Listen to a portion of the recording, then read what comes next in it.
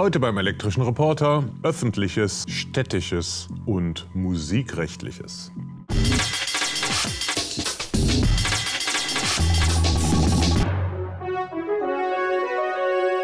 Elektrischer Reporter. Ich habe sie erwartet.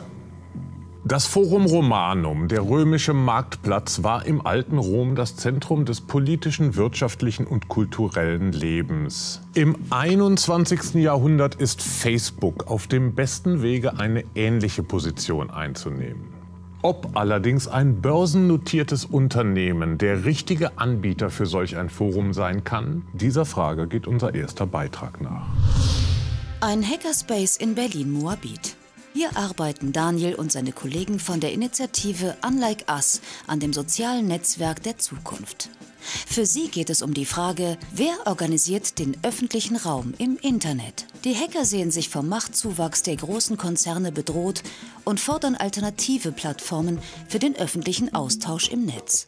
Also momentan haben wir das Problem, dass gerade die großen Netzwerke wie Facebook und Google Plus oder Twitter von großen Konzernen betrieben werden und halt da mehr oder weniger Monopolstellungen entstehen und Abhängigkeitsverhältnisse. Das heißt, ich kann unilateral ausgeschlossen werden und das ist schlecht. Wer von Facebook oder Twitter ausgeschlossen wird, wird von einem immer größer werdenden Teil einer neuen Öffentlichkeit abgeschnitten. Dabei sind soziale Netzwerke für die Meinungsbildung in einigen Altersschichten mittlerweile wichtiger als Zeitungen. Die Politikwissenschaftlerin Ulrike Höppner beobachtet insbesondere bei jüngeren Generationen einen radikalen Autoritätsverlust dieser traditionellen Welterklärer. Kein Wunder. Eine Facebook-Wall sieht aus wie ein endloser Comic. Dort konkurriert die sorgfältig recherchierte Auslandsreportage mit Katzencontent und Babyfotos. Zeitungen tauchen auf, wenn ein Link in ihrer Facebook-Timeline aus einer Zeitung stammt. Und dazu kommen ganz viele neue Arten, sich zu äußern, auch äh, über Blogs, über Twitter. Und das verändert schon ganz entscheidend die Art und Weise, wie politische Meinungen zustande kommen für eine bestimmte Altersgruppe. Das Problem dabei? Facebook wird gerade nicht für die Organisation politischer Debatten unter Heranwachsenden bezahlt, sondern für die optimale Auswertung aller Nutzeraktivitäten zum Zwecke der Werbung. Und auch andere Netzwerke wie Twitter optimieren die Funktionen ihrer Plattform zur Steigerung der Werbeerlöse ständig. Doch wie der arabische Frühling zeigt, Revolutionäre, Freiheitskämpfer, aber auch Parteien und Verbände schert das wenig.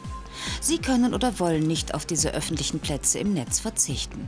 Denn nur dort erreichen sie eine große Anzahl von Menschen.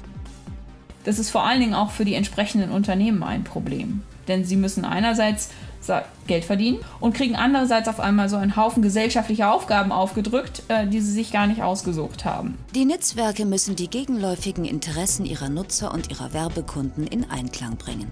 Die einen wollen Datensicherheit und ungestörte Kommunikation mit Freunden, die anderen wollen Nutzerdaten und Aufmerksamkeit. Der Journalist und Autor John Kempfner befürchtet außerdem, Je wichtiger das Netz als öffentliches Kommunikationsmedium wird, desto stärker versuchen Unternehmen und Staaten, dort die Regeln zu bestimmen. Es gab während der Olympischen Sommerspiele große Aufregung bei uns in Großbritannien. Ein Journalist hatte sich sehr negativ über die Olympia-Berichterstattung des US-Senders NBC geäußert und plötzlich war sein Twitter-Account gesperrt. Es stellte sich heraus, dass das wohl mit der Partnerschaft zwischen NBC und Twitter zu tun hatte. Direkte Eingriffe wie dieser sind eher die Ausnahme. Die eigentliche Einflussnahme läuft ganz automatisch. Algorithmen bestimmen, was die Nutzer zu sehen bekommen und was im Datenstrom untergeht. Sie sind die Chefredakteure der neuen Öffentlichkeit. Die Grundlage ihrer Auswahl ist allerdings Firmengeheimnis. Die sind ja das Kapital, mit dem die Firmen arbeiten.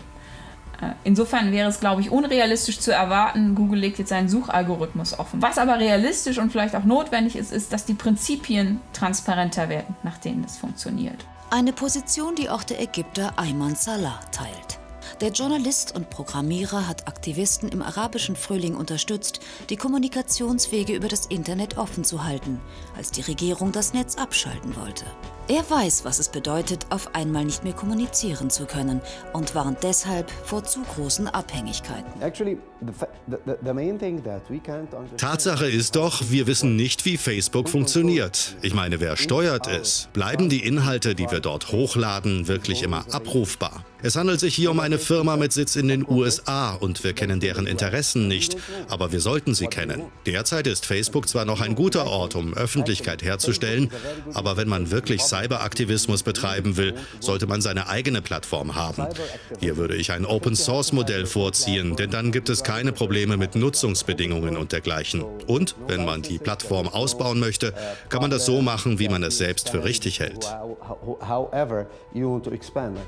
Daniel und seine Kollegen arbeiten an einer solchen Lösung. Sie vertrauen beim Design ihres Facebook-Konkurrenten nicht auf Algorithmen. Ihre Herangehensweise mutet fast schon altmodisch an. Die Nutzer dürfen selbst entscheiden. Da ist unser Ansatz, es den Nutzern halt zu ermöglichen, zu sagen, okay, ich möchte jetzt von meinem Kumpel XY das Newsfeed höher priorisiert haben, zum Beispiel, weil ich weiß, der schickt immer gute Artikel. Dass sie es nicht schaffen werden, Facebook die Marktführerschaft streitig zu machen, ist den Initiatoren von Unlike Us klar. Aber sie können Alternativen aufzeigen und die Gefahren von Monopolen deutlich machen. Kommen wir nun vom öffentlichen Forum zur städtischen Reklame um eine Stadt im Rheinland, um eine Werbeagentur und um eine vermeintlich gute Idee. Darum geht es heute in unserem Tweet und seiner Geschichte.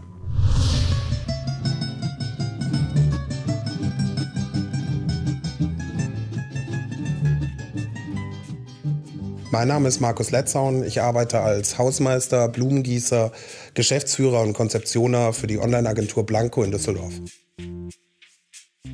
Ja, vor ein paar Tagen war das ganz interessant. Da stellte die äh, Landeshauptstadt Düsseldorf stellte ihr neues Markenzeichen vor. Und ähm, man sah das so auf Twitter, auf Facebook. Es gab so ein paar ganz nette Kommentare. Sehr lustig war dann halt, dass es nach ähm, einem halben Tag, nach einem Tag irgendwie sind auf einmal, ich glaube, 1500 Markenexperten, also eins, zwei, drei, vier, unendlich viele sind da irgendwie in die Luft geschossen und haben ein Riesentheater gemacht, weil die haben das Zeichen in dieser Art, haben die das schon mal gesehen gehabt. Unglaublich. Und bei, diesen, bei diesem Orkan im Altbierglas, also wo diese ganzen Experten eine Riesenwelle machten, dass es dieses Zeichen schon mal gab. Ich habe mit meinen Kollegen gesprochen, die fanden das Zeichen halt alle klasse. Das ist doch schön, das sieht doch wunderbar aus. Wir haben dann halt mal ein bisschen nachgeschaut im Netz und fanden dann halt nach hm, zehn Minuten fanden wir dann halt diesen kleinen Online-Shop in Dubrovnik, haben da angerufen und haben diese T-Shirts bestellt, weil ich glaube wirklich, dieses Zeichen ist schön. Die Leute lieben eigentlich dieses Markenzeichen, diese ganzen Experten, das interessiert letztendlich überhaupt niemanden. Und deswegen haben wir diese T-Shirts für die Verlosung dort bestellt. Es handelt sich hier um eine, um eine Umdeutung von einem Zeichen. Und tatsächlich diese Umdeutung vorzunehmen, das finde ich eine, eine wunderbare, ganz normale Leistung ob man jetzt unbedingt mit der Agentur, die das vorgeschlagen hat, ob man jetzt unbedingt mit der tauschen möchte. Also weil bei einem Auftrag für 150.000 Euro wird so kolportiert die Budgetsumme. Da gibt es natürlich auch Recherchepflichten. Das kann ich jetzt als Externe nicht beurteilen, aber die Vorgehensweise scheint zumindest gewagt zu sein, dass man halt ein Allerweltszeichen nimmt, das umdeutet und dann nachher völlig überrascht ist, wenn das irgendwelche anderen T-Shirt-Shops aus Dubrovnik, wenn die das schon mal verwendet haben. Die Frage ist, was ist denn an dieser ganzen Aufregung, was ist denn da jetzt wirklich dran gewesen? Ich weiß es nicht. Ich glaube, es sind ein Haufen Selbstdarsteller, die dann zu so einem Thema, was halt einfach eine Stadt irgendwie entwickelt, die da halt auch eine Meinung entwickeln. Und ganz ehrlich, so völlig frei sind wir als Agentur auch nicht von dieser Motivation. Natürlich haben wir einfach geschaut mit dieser T-Shirt-Verlosung, dass wir da halt wenigstens noch irgendwie einen lustigen Scherz draus machen können. Wir bleiben bei den Institutionen. Von der digitalen Revolution sind zahllose Branchen, Wirtschaftszweige und Kultursektoren betroffen und niemandem fällt der Wandel wirklich leicht. Am allerschwersten damit, in digitalen Zeiten anzukommen, tut sich die GEMA, sagen viele Kritiker, wie unser nächster Beitrag zeigt. Eigentlich ist die GEMA eine prima Erfindung. Sie sammelt Geld ein, beispielsweise bei Radiosendern, auf Konzerten oder in Diskotheken, und reicht dieses Geld dann an Komponisten und Textdichter weiter. sofern diese Mitglieder bei der GEMA sind. Gäbe es keine Institution wie die GEMA, müssten die Künstler diese Gelder selber eintreiben und kämen wohl kaum noch dazu, Musik zu machen. Doch immer mehr Musiker sind immer unzufriedener mit der GEMA. Lediglich die 3400 erfolgreichsten Mitglieder hätten etwas zu sagen. Oder deren Erben, beschweren sich viele der insgesamt 65.000 GEMA-Mitglieder. Und eine kräftige Tariferhöhung bringt Clubs und Diskotheken demnächst in Existenznöte, beklagen sich die Betreiber. Viele Musiker wollen daher mit der GEMA nichts mehr zu tun haben. Ich sträube mich dagegen, jemandem meine Musik in die Hände zu geben, der seine Macht gegen Musiknutzern sozusagen äh, dermaßen arrogant und gewissenlos ausnutzt wie die GEMA derzeit. Der größte Vorwurf lautet, die GEMA sei bis heute nicht im Internetzeitalter angekommen und bevormunde ihre Mitglieder, statt sie im Netz zu unterstützen. Was die GEMA bis heute nicht wirklich geschafft hat, ist ähm, den ganzen Bereich äh, alternativer Vertriebswege äh, so einzubauen in ihre Strukturen, dass sie für, für Künstler nutzbar sind, die noch nicht groß etabliert sind. Also gerade für die, die am Anfang ihrer Karriere stehen, die möchten Dinge ausprobieren im Netz, wo ihnen die GEMA dann regelmäßig im Weg steht. Wer beispielsweise ein paar seiner Songs unter freie Lizenzen stellen will, um sie als Eigenreklame kostenlos im Netz zu vertreiben, für den hat die GEMA einzig eine ziemlich radikale Lösung parat. Sie können selbstverständlich im Rahmen des GEMA-Berechtigungsvertrags ähm, die Online-Rechte aus, de, aus der GEMA herauslösen und, und Creative Commons übertragen. Zu Deutsch alles oder nichts. Entweder die Künstler verzichten im Online-Bereich auf eine Zusammenarbeit mit der GEMA und dann auch auf die damit verbundenen Einnahmen, oder sie bleiben in den starken Armen der GEMA und geben keine einzelnen Songs im Internet frei. Und diese Option ist für immer mehr Musiker keine. Ähm, ich würde mir somit die ganzen viralen Chancen nehmen, um mich eben als Künstlerin aufzustellen und zu kommunizieren. Das ist ähm, eine der großen Gründe, ähm, warum ich mit der GEMA im Moment keine Zusammenarbeit sehe. Unter dem kryptischen Kürzel C3S plant eine Handvoll Musiker daher eine eigene Verwertungsgesellschaft. Diese gegen GEMA soll demokratischer agieren, sie soll ihren Mitgliedern den Umgang mit freien Lizenzen erleichtern und sie soll nicht nur in Deutschland, sondern in ganz Europa wirken. Fachleute zeigten sich zunächst skeptisch. Und inzwischen ist aber so viel Arbeit und so viel Expertise auch in diesen neuen Ansatz geflossen und die Rückmeldung aus der ähm, Gruppe der Künstler, die Resonanz ist so groß, dass ich glaube, dass es klappen kann. Auch bei der GEMA selbst ist man hellhörig geworden. Das bedeutet ja, dass wir bestimmte Wünsche, die diese Mitglieder an uns, an die GEMA haben, nicht beantworten. Das heißt, wir müssen uns mit, damit auseinandersetzen. Was zunächst nur nach einer kleinen Konkurrenz klingt, könnte große Folgen haben für die GEMA. Momentan müssen nämlich alle Clubs, Diskotheken und Konzertveranstalter Gebühren an die GEMA zahlen, selbst wenn sie ausschließlich Musik unter freien Lizenzen spielen, für die die GEMA gar nicht zuständig ist. GEMA-Vermutung nennt sich dieses Prinzip.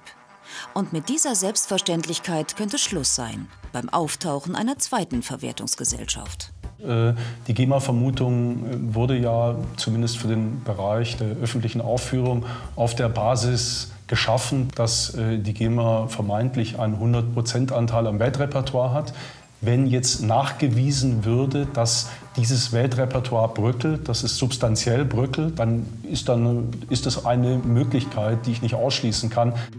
Das hört sich nach einer juristischen Fußnote an, könnte die GEMA jedoch in ernste Schwierigkeiten bringen, da die sogenannte GEMA-Vermutung ein essentieller Bestandteil der Arbeit der GEMA ist, die die Kosten für die GEMA im Rahmen hält. Ohne die GEMA-Vermutung wäre die GEMA kaum finanziell zu betreiben.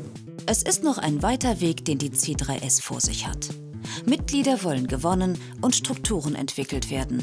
Und eine offizielle Lizenz vom deutschen Patentamt ist auch noch erforderlich.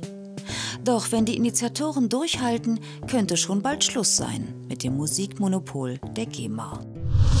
Wenn der Wind des Wandels weht, bauen die einen Schutzmauern und die anderen Windmühlen, sagt ein chinesisches Sprichwort. In diesem Sinne wünsche ich Ihnen eine inspirierte Zeit. Bleiben Sie uns gewogen und schalten Sie auch das nächste Mal wieder ein. Bis dahin bleibe ich Ihr elektrischer Reporter.